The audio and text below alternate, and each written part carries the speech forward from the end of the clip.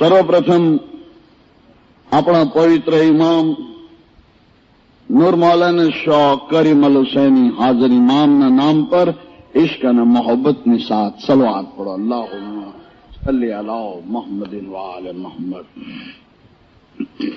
હમણાં આપ સમક્ષ પીર હસન કબીરદીન મા બાપનું બનાવેલું જ્ઞાન જે કાનીપા જોગી સાથે સવાલ જવાબનો એક આ સંવાદ હતો. કાનીપા જોગી પીર હસન કબીરદીન મા બાપને સવાલ કરે છે કે ઇબાદત બંદગીમાં જ્યારે આપણે બેસીએ છીએ, ત્યારે કોણ જાગતું હોય છે અને કોણ સૂતું હોય છે? કોણ જાગે અને કોણ સોવે? અને કોણ દો દિશ ધાવે? પંચાણકા એટલે શરીરની અંદર જે પાંચ ભૂ છે, એ પાંચ ભૂ ગુરુ કોણ છે? અને જે ગુરુ છે, કોણ માર્ગ લાવે? પીરાશન કબીરદીન એમનો જવાબ આપે છે કે હંસ જાગે, પિંડ સોવે. હંસ એટલે આત્મા.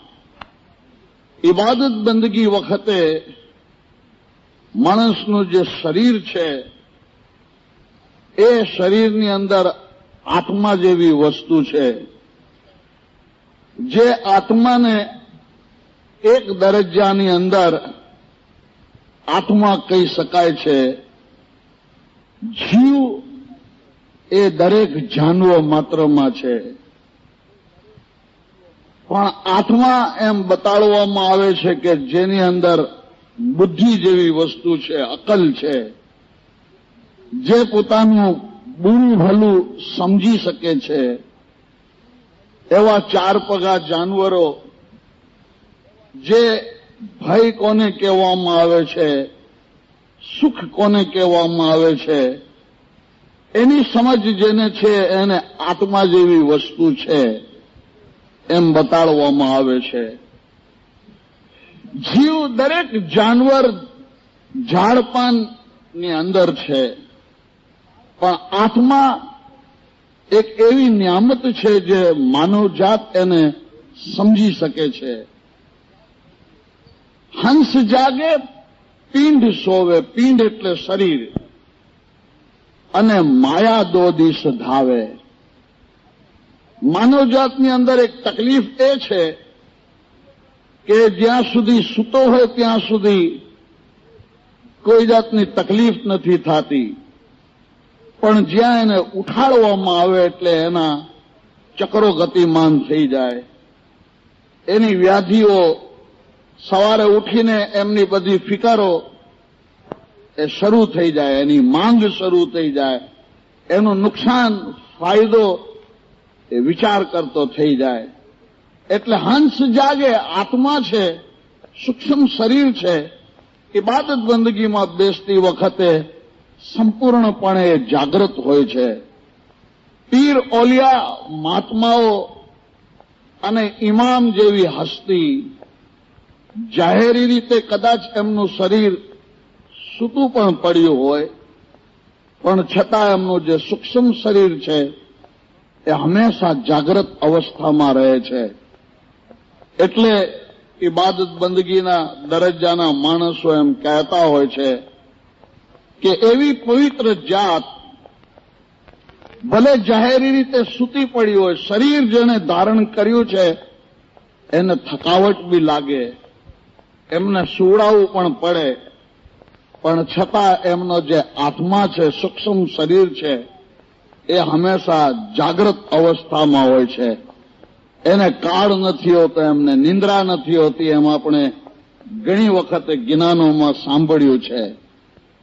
પણ માનવજાતની અંદર એક આત્મા છે, જીવ છે, અને એ આત્મા માટેની જ્યારે ઇબાદત બંદગીનો ખોરાક એમને જો મળે છે, તો એ આત્મા નૂર થઈ જાય છે. એટલે ત્રણ વસ્તુ બતાડવામાં આવી. જીવ આત્મા અને એ આત્માની જો કસરત કરાવવામાં આવે, એને બરાબર રોહાની ખોરાક મળતો રહે તો એ આત્મા નૂર થઈ જાય છે. અને ઇબાદત બંદગીમાં બેસનાર માણસ માટે હંમેશા એમ બતાડવામાં આવે છે કે જે નિયમિતપણે ઇબાદત બંદગીમાં ઉઠતો હોય છે, પોતાના આત્માના ખોરાકની જેને ફિકર હોય છે એ આ દુનિયા છોડ્યા પછી એનો નૂર, ખુદાના નૂરમાં એક થઈ જાય છે. હંસ જાગે, પિંડ સોવે અને માયા દો દિશ ધાવે.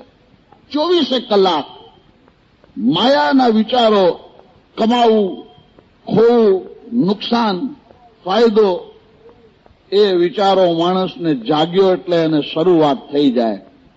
અને એટલા માટે જ તમારી ને આપણી બધાની મોલા પાસે જ્યારે પણ નજદીક જવાનો મોકો મળે, એટલે આપણી આ એક અરજ હોય છે કે હાજર ઇમામ બંદગીમાં બેસવા માટે કોઈ જાતનો વાંધો નથી, પણ બંદગીમાં કોઈ હિસાબ ચિત્ત ચોટતું નથી, ધ્યાન લાગતું નથી. ખોટા ખોટા વિચારો આવ્યા કરે. જેના સાથે દિવસભરની અંદર કોઈ પણ જાતનો વ્યવહાર ન હોય એવા નક્કામાં વિચારો. આપણી લાઈનના હોય તો આપણને ફિકર થાય. પણ લાઈનના આપણી કોઈ લાઈનના વિચારો નથી. છતાં પણ બંદગીમાં બેઠા એટલે દુનિયાભરના આચારો, વિચારો આપણા મગજની અંદર સંઘર્ષ કરતા હોય. અને એ સંઘર્ષની સાથે બાથ ભીડતા ક્યારેક ક્યારેક બંદગીમાંથી ઉઠીને ચાલ્યું જવાનું મન થાય. સવા ચાર ચાર વીસ થાય એટલે આપણને જાણે લાલ કીડીઓ ચડવા માંડી હોય ને કેવી બેચેની થાય. એટલે માણસો નીચે ઉતરી જાય એકાદ આટો મારી આવે, નીચે ચાય પી આવે, થોડી વાર ગપસપ કરી આવે નીચે. ફરી પાછું પાંચમાં દસ કમ કે પાંચમાં પાંચ ઓછી હોય, એટલે પાછા આવીને બેસી જાય. આ એક માણસ જાતનો સ્વભાવ છે. એટલે કે જે કોણ જાગ હંસ જાગે, પિંડ સોવે અને માયા દો દિશ ધાવે. પંચાણ કા જ્ઞાન ગુરુ અને જ્ઞાન માર્ગ લાવે.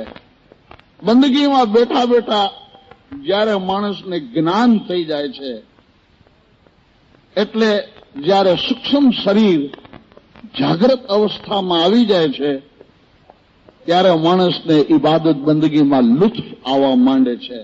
આનંદ પેદા થાય છે.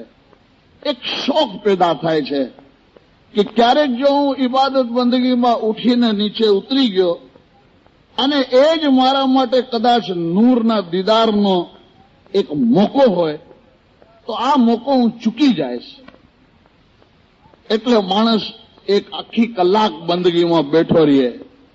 ભલે ધ્યાન લાગે કે ન લાગે, પણ એ એક જ વસ્તુનું વિચાર કરતો હોય છે. એવું ન થઈ જાય ગુજરાતીમાં જેમ કહેવત છે કે લક્ષ્મી ચાંદલો કરવા આવે ત્યારે મોઢું ધોવા જાય.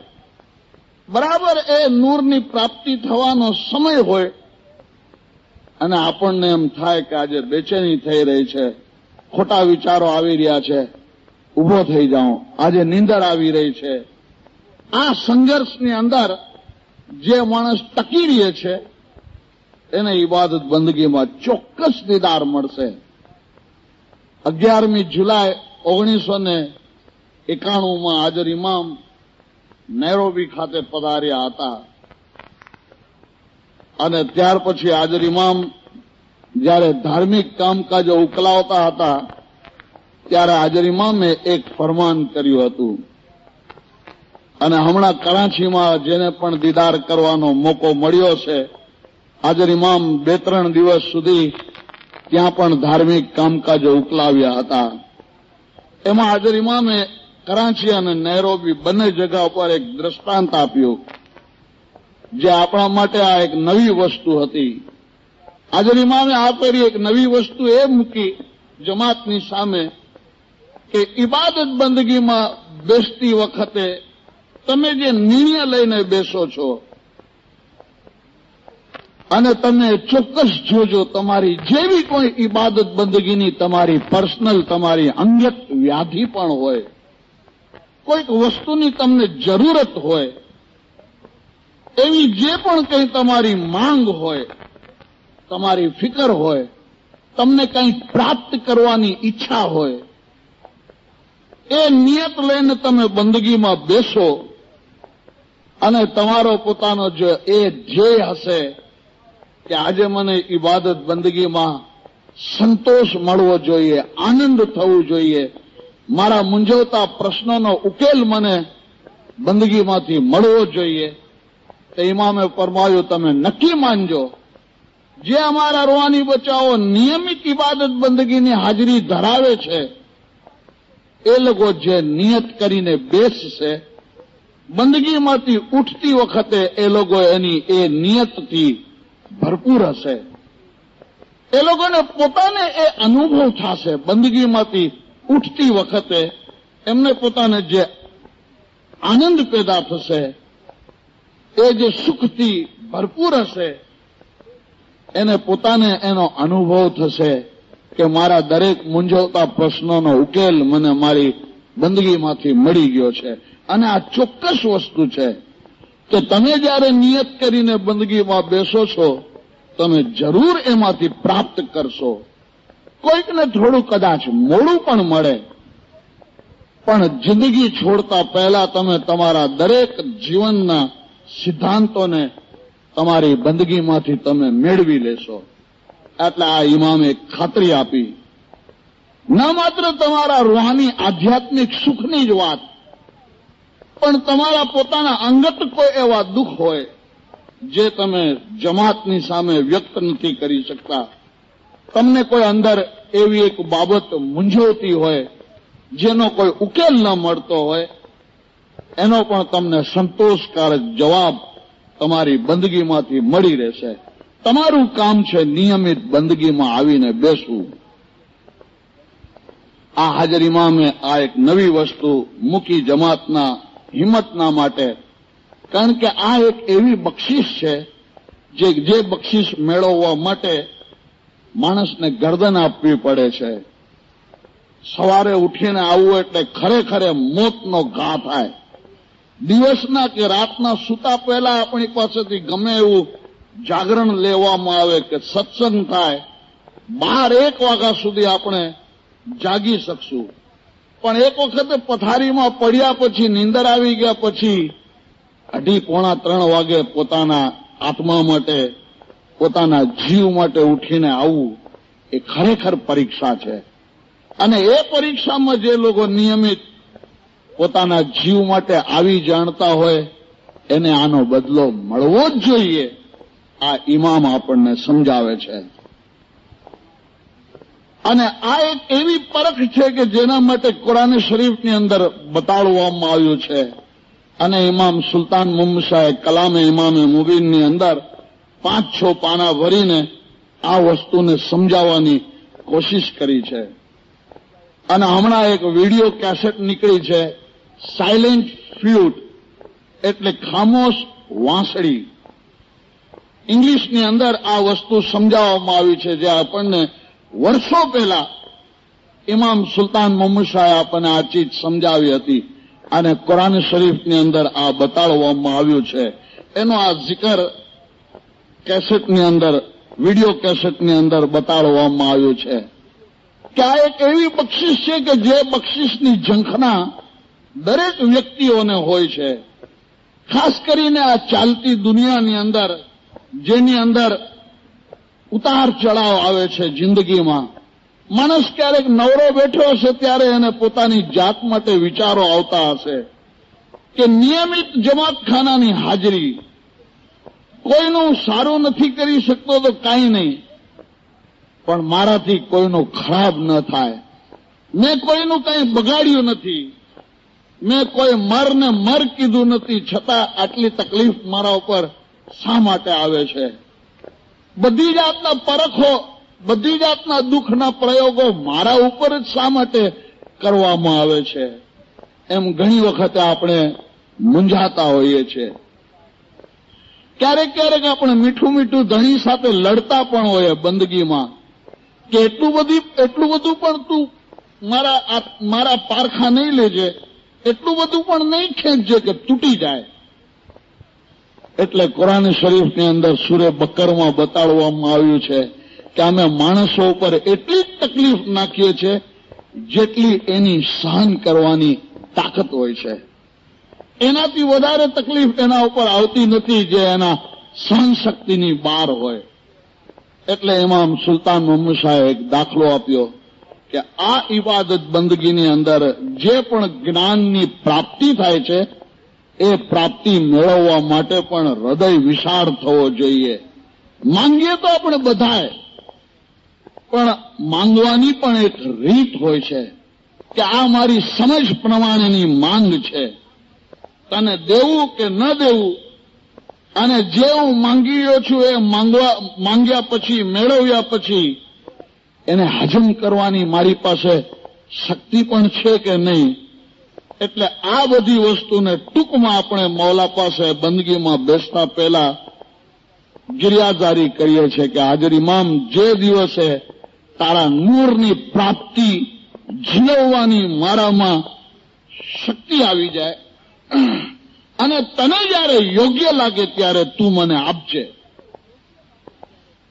આ બધી વાતનો અહીં અંત આવી જાય છે કે જ્યારે તને ઠીક લાગે, તને યોગ્ય લાગે ત્યારે તું મારા હિતમાં મારા માટે કઈ બહેતર વસ્તુ છે એ તું મને બક્ષિસમાં આપજે. આ માંગણી જેને કરતા આવડતી હોય, એને કુદરત ઉપર પછી છોડી દેવું પડે. બે ચાર વર્ષે બી ફાયદો થઈ જાય, પાંચ દસ વર્ષે પણ ફાયદો થઈ જાય, અને ઇમામ સુલતાન મોહમ્મદ શાહે તો અહીં સુધી ચેલેન્જ કરી હતી કે જે અમારા રૂહાની બચાવોના અમાલ પવિત્ર છે, એના આચાર વિચાર પવિત્ર છે અને જેની દસોન ચોખ્ખી છે એટલે પેટમાં જે નિવાલો જાય છે, એ નિવાલો ઇમામનો હક કાઢ્યા પછીનો જેનો નિવાલો સાફ પાક હોય છે, એને ત્રણ દિવસની અંદર નૂરના દીદાર થઈ શકે છે. આ છાપેલું ફરમાન છે. તો એક વખતે ખીજરની પાસે મુસા અલ ઇસ્લામ આવ્યા હતા. અને એ મુસા અલ ઇસ્લામ જ્યારે કોહતુરના પહાડ ઉપર દીદાર કરવા માટે ગયા હતા, ત્યારે એમને જે અનુભવ થયો હતો, નૂરનો જલવો એમને જે દેખાડવામાં આવ્યો હતો, એનાથી એ ફેંકાઈ ગયા હતા.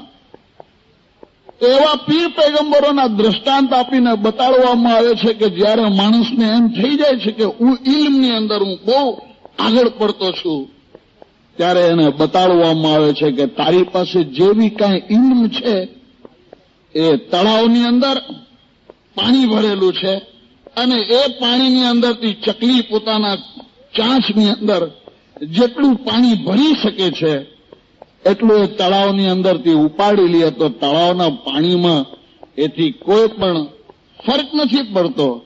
કારણ કે ચકલીની ચાંચમાં પાણી કેટલું સમાય અને એથી તળાવમાંથી કાંઈ ઓછું નથી થતું. દુનિયાની અંદર આ બધું ઇલ્મ ભરેલું છે. અને એ ઇલ્મમાંથી તમારી પોતાની લેવાની કેટલી શક્તિ છે? એટલે આ ઇલ્મનો દરિયો છે અને જેની પાસે જેવી શક્તિ હોય ખેંચવાની, એ ખેંચી શકે છે. આ એનો ધ્યાન દેરાવવામાં આવ્યું કે મુસા તારી પાસે જે જ્ઞાન છે ને, એ કંઈ પણ નથી. જો તારે હજુ એના કરતા ઇલ્મ જાણવું હોય તો તું ફલાણા ફલાણા ખિઝર પૈગંબર પાસે જા અને ખિઝર પાસે જ્યારે મોકલાવવામાં આવ્યો ત્યારે એમની સાથે શરત કરવામાં આવી કે હું જે પણ કંઈ તને દુનિયાની અંદર બતાડું, ચૂપચાપ તારે જોયા કરવું. તારે સામો એક બી સવાલ કરવો નહીં. જે દુનિયાના રંગ રાગ દેખાડું એ તારે ખામોશીની સાથે જોયા કરવું. બોલવું નહીં. બોલીશ તો તારો ને આપણો સંબંધ તૂટી જશે. જે પીરોએ આપણને જ્ઞાનની અંદર સમજાવ્યું છે. સુજતી આખાતીને ઘીરા પાયા.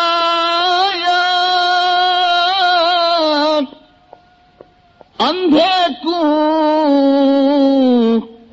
એતુબારે ન आया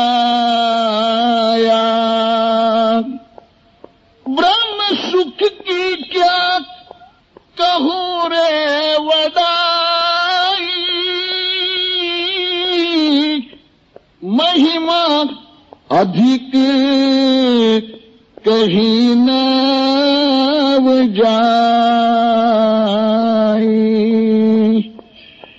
ઇબાદત બંદગીની અંદર જે દુનિયાવી રાજ જાણવા મળે છે એના પહેલા આપણને ખાતરી આપવામાં આવે છે કે આ ભેદ માત્ર તારા માટે છે કોનું શું થઈ ગયું કેવી રીતે થયું ક્યારે થશે એ માત્ર ઇલ્મ તારા માટે છે અગર જો તું આ બીજાઓને કહેવા જઈશ, તો પહેલે તો લોક તારી વાત સમજી નહીં શકે. અને જો તું એને સમજાવવાની કોશિશ કરીશ, તો કરીમ હાજર ઇમામે માળિયા હાટીનાની અંદર અગિયાર ફેબ્રુઆરી ઓગણીસો ને નેવ્યાસીમાં મોલા પધાર્યા હતા, ત્યારે હાજર ઇમામે એક બેતુલ ખ્યાલની અંદર ઇશારો કર્યો હતો કે ક્યારેક તમને ઇબાદત બંદગીમાં જે સુખની પ્રાપ્તિ થશે તમને પોતાને એમ લાગણી પેદા થશે. તમારી વાવા કરાવવા માટે નહીં. તમને પોતાને એમ થશે કે મેં જે કંઈ જાણ્યું છે, એ જો ચાર ચારક માણસને હું બતાડું, બની શકે છે કે એ ચારની અંદર કોઈની અંદર પ્યાર પેદા થાય, એને શોખ પેદા થાય બંદગીનો, અને એક જીવને હું બંદગીની આદત ચાલુ કરાવી શકું. કહેનારા માણસોની આ એક ઈચ્છા હોય છે. કે જે મેં પ્રાપ્ત કર્યું છે કોકને કહી દઉં. પણ યાદ રાખજો, તમે સુખની પ્રાપ્તિ તમને નસીબ થઈ છે. એ જો તમે બીજાઓને કહેવા જશો, તો લોકો કહેશે કે આ કંઈક વધુ પડતો જે એણે મેળવ્યું છે, એના કરતા કંઈક વધુ વધુ એ બોલી રહ્યો છે. જેને ઇંગ્લિશમાં મોલાએ હિપોક્રેસી કહ્યું હતું ઢોંગ તમે કોકને તમારા હૃદયની ભાવના વ્યક્ત કરશો તો સામેવાળો તમને સમજી નહીં શકે. એ તરત તમારા માટે અભિપ્રાય બાંધી લેશે કે આ કંઈક વધારી વધારીને બોલી રહ્યો છે, જે મેળવ્યું છે, એના કરતા કંઈક વધારે આ ઉભરાઈ રહ્યો છે. યા તો એ ઢોંગ કરે છે, આપણા ઉપર પોતાની કોઈક સારી છાપ બેસાડવા માટે આ કરી રહ્યો છે. એટલે ખીઝરે એમને સમજાવ્યું કે જો આ વસ્તુ જે બી હું તને બતાડું, ચૂપચાપ તું જોયા કરજે. ત્રણ વસ્તુ પછી ઇમામ સુલતાન મુમસાએ બતાડ્યું છે કે ગામની અંદર એ લોકો પસાર થવા માંડ્યા રસ્તામાં નદી હતી, નાવમાં બંને જણા વાણમાં સવાર થઈ ગયા. સામે કિનારા ઉપર ઉતર્યા પછી ખીઝરે ઓલા વાણનો એક પાટિયો ખોલી નાખ્યો, એટલે એના સ્ક્રુઓ કાઢી નાખ્યા. પાટિયો નીકળી જતા નાવની અંદર પાણી ભરાઈ ગયું એટલે સ્વાભાવિક એને એમ થઈ ગયું કે આ ખોટું થઈ રહ્યું છે. જે નાવ આપણને નદી પાર કરવા માટે કામ લાગી, કોઈ ગરીબ માણસની આ એક આવક હતી, રોજીનું આ સાધન હતું, એને નકામું કરી નાખવામાં આવ્યું, પણ શરત રાખવામાં આવી હતી કે તારે કાંઈ બી બોલવું નહીં, ચૂપચાપ જોયા કરવું. ગામની અંદર દાખલ થયા એક છોકરાનું માથું ધડથી જુદું કરી નાખવામાં આવ્યું. એટલે ત્યારે પણ એ ખામોશ રહ્યો. ત્રીજી પેઢી એક ઝોપડીને જે તૂટેલી ફૂટેલી હાલતમાં હતી એને સુધારી નાખવામાં આવી અને સુધાર્યા પછી સાંજે પાછા ફરવા માંડ્યા એટલે ઓલાથી રહેવાનું ને મૂસા ત્યાં એણે કિઝરને પૂછી લીધું કે આ બધું શું બાબત છે? આટલી આપણે મહેનત કરી અને આપ પૂછ્યું પણ નહીં કે આ ઝૂંપડીનો માલિક કોણ છે? આખા દિવસની મજૂરી કર્યા પછી આપણને આની મજદૂરી શું મળશે? કામ થઈ ગયું એટલે આપે કીધું, ચાલો. એટલે આ મને નથી પડતી. બે વખત તો ચૂપ રહ્યો. આ ત્રીજી વસ્તુ શું છે? એટલે ખીઝરે કહ્યું કે અગર તું ચૂપ રહ્યો હોત, તો એવી બીજી દુનિયાની ઘણી બધી વસ્તુઓ હું તને બતાડતે. સુલતાન મમસાએ ફરમાયું કે જો એ વખતે ચૂપ રહ્યો હોત ને તો એવી બીજી સિત્તેર વાતો એમને ખીઝર પાસેથી જાણવા મળતે. એટલે બોતેર તોતેર એવા ખુદાના જે રાજ છે, એ રાજ એ પામી શકતે, પણ એના એ નસીબમાં નહીં હતું. પછી એનો ખુલાસો કરવામાં આવે છે કે બીજા દિવસે આ બધી નાવને બાદશાહ બાળી નાખવાનો હતો અને આ ગરીબ માણસની નાવને આપણે એક જ પાટીઓ કાઢી નાખ્યો. એટલા માટે કે પાણી ભરાઈ જવાથી પાણીમાં ડૂબી જાય અને ઓલા બાદશાહના સિપાહીઓને આ વાહણ દેખાય નહીં જે આનું એક રોજીનું સાધન બચી જાય. ઓલા છોકરાનું માથું ઉડાડી નાખવામાં આવ્યું એટલા માટે કે જો એ મોટો થાતે, તો એ માનો કે બાપનો એ ઘાતક બનશે. મા બાપના એ પેટ બાળતે, જીવ બાળતે. ઓલી ઝૂંપડી આપણે એટલા માટે તૈયાર કરી કે બે માસૂમ બચ્ચાની મિલકત એ ઝૂંપડીના નીચે દટાયેલી હતી. જો ઝૂંપડી આપણે એવી તૂટેલી ફૂટેલી હાલતમાં રહેવા દીધો તો એને ખસેડી નાખવામાં આવતે. બાજુમાં બનનાર બંગલા પોતાના સ્વાર્થની ખાતર આ આડી નડતી ઝોપડીને તોડી નાખતે. તો આ જે બે બચ્ચાઓ ઉછળી રહ્યા છે, મોટા થઈ રહ્યા છે, એની ભવિષ્યની મિલકત એ જમીનની નીચે દટાયેલી હતી અને એ હંમેશા એવી રીતે ગુપ્ત રહે એટલા માટે આપણે આ ઝૂંપડીને ઊભી કરી દીધી. આવા તો દુનિયા, આ તો એક દ્રષ્ટાંત છે દુનિયાવી. પણ દુનિયાના અમુક એવા રાજ હોય છે, જે રાજ પામવા માટે ઇબાદત બંદગીની અંદર એક બક્ષિસ આપવામાં આવે છે. એક ગુરુની પાસે ત્રણ ચેલાઓ ઇલ્મનું જ્ઞાન, આધ્યાત્મિક સુખ કોને કહેવામાં આવે છે એ મેળવવા માટે આવ્યા હતા. અને ગુરુએ કહ્યું કે હવે વધારે ફર્ધર જ્ઞાન મેળવવા માટે, વધારાનું જ્ઞાન મેળવવા માટે હું એક બીજા ગુરુ પાસે તમને મોકલાવી રહ્યો છું. જ્યાંથી તમને આધ્યાત્મિક જ્ઞાન મળશે. બે વર્ષ ત્યાં જ્ઞાન મેળવ્યા પછી ત્રણ વિદ્યાર્થીઓમાંથી બે પાછા આવ્યા. ગુરુના પગે લાગ્યા અને ગુરુએ પૂછ્યું, ત્રીજો નહીં આવ્યો? તો કે, ગુરુ, ત્રીજો માણસ અમને એમ કીધું છે કે જે બી કંઈ પેલા ગુરુ પાસેથી મેળવ્યું, બીજા ગુરુ પાસેથી મેળવ્યું એ બંને જ્ઞાનને હું હજમ કરવા માંગુ છું. સાંભળ્યું તો ખૂબ. પણ હવે એને હું અમલમાં, મારા આચરણમાં, મારા સંસ્કારમાં ઉતારવા માંગુ છું. એટલે હજમ કર્યા પછી હું આવીશ. છ મહિને એ પણ આવી ગયો.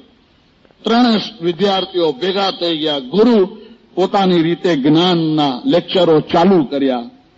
થોડીક વાર થઈને તો ઓલા વિદ્યાર્થીના મોઢામાંથી નીકળી ગયું. હિપોક્રેસી ગુરુના મોઢામાંથી બધી વાંચેલી વસ્તુ જ બોલાતી હતી. એનું પોતાનું કંઈ પણ નહીં હતું. એના હૃદયમાંથી કોઈ પણ વસ્તુ ઘસાઈને નહોતી આવતી. એટલે ઓલા ત્રીજા વિદ્યાર્થી જેણે હજમ કર્યું હતું, અમલમાં મૂક્યું હતું, એનાથી બોલાઈ ગયું, શું ખૂબસૂરત મંદિર છે, પણ પૂજાના લાયકની અંદર મૂર્તિ જ નથી. ગુરુ સમજી ગયો કે આણે મેણો મને માર્યો છે કે ખાઈ પી, તૈયાર બધું પરવારો માલ આવતો જાય ગુરુ પાસેથી. ખાઈને કેટલું બધું રૂષ્ટપુષ્ટ શરીર બનાવ્યું છે, પણ આત્મા જેવી કોઈ વસ્તુ જ નથી. જિંદગીમાં ખાવું અને શું? બસ એ સિવાય બીજું આ મંદિરને સજાવવા માટે એને કંઈ કર્યું જ નથી. ગુરુ એકદમ ઊભો થઈ ગયો. વિદ્યાર્થીની નજદીક ગયો એટલે બીજા બે વિદ્યાર્થીઓ નક્કી કર્યું કે આજે ગુરુ એને મારશે. પણ નજદીક ગયા પછી એને વિદ્યાર્થીને એના છાતી સરસો ચાપી દીધું કે આજે તું એ મને કરવી. પણ સત્ય વસ્તુ સમજાવી છે કે આજ દિવસ સુધી મેં મારા જીવનની અંદર આ શરીરને, મંદિરને ખૂબસૂરત બનાવવા માટે સારામાં સારું ખાધું જ છે. પણ આત્મા જેવી કોઈ વસ્તુને હું સમજી જ નથી શક્યો. જેટલું બી હું બોલતો તો એ વાંચેલું તારી પાસે તમારી પાસે ઉલટી જ કરી નાખતો હતો મારું પોતાનું એમાં કાંઈ પણ નહીં હતું. અને ઇસ્માઇલી મઝહબની આ જ વસ્તુ મહાન વસ્તુ છે કે જિંદગી છોડતા પહેલા આપણા આત્મા માટે કંઈક કરીને દુનિયા છોડવી છે. મોલા પાસે દુઆ માંગશું ઇન્શાલ્લાહ કાલે આપણે પાછા મળશું. મોલા પાસે દુઆ માંગશું ખુદાઈન તો અમારા ગુનાહ માફ કરજે અને બંદગીમાં બેસવાનો અમને શોખ પેદા કરજે. ગુરગત જમાત કહે